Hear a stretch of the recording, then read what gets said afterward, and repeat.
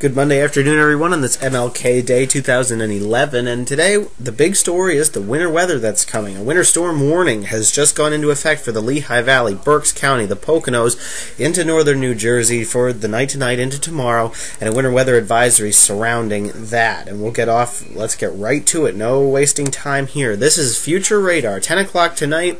We're still dry. Light snow is down to the south. 1 o'clock in the morning, snow moving into the area, as you can see it here. And you can see rain already down the shore. 4 o'clock in the morning, we're seeing moderate snow across the region. That mixed line moving through I 95 with rain south of that. By 7 o'clock in the morning, as you were going to work, snow is still hanging on in Allentown, but that ice is real close. It's in Reading, it's in Quakertown, it's in Pottstown, and it's raining in Philly by 7 a.m.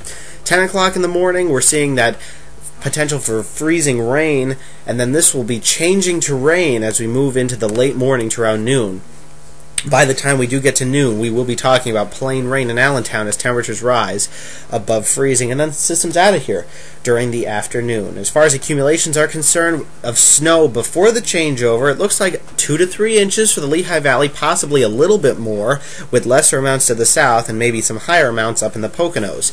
So this is that's what this storm is looking like, and then of course once that changes over, the freezing rain and eventually the rain is going to make that become real sloppy, and it's just going to make it real difficult and slushy, but certainly difficult travel to say the least. Then, if this isn't enough for you, we have another potential weather maker later in the week. A storm system we'll be having will be having to watch for possibly Thursday into Friday. That could be another snowstorm for us. Uh, we'll have more details on this potential uh, bad boy as the week wears on. Overnight tonight, the snow moves in. After midnight, it will change to ice from south to north. Lows will be cold, so it will be snow and sticking right away. During the day tomorrow, snow and ice changing to rain. Then we're just talking about some afternoon showers, but it will be mild with highs making it into the mid 30s. And on the five day forecast, temperatures in the 30s Wednesday before it gets much colder by the weekend with a chance of snow Friday. Saturday looks brutal, highs struggling to hit 20 and a low temperature of 5.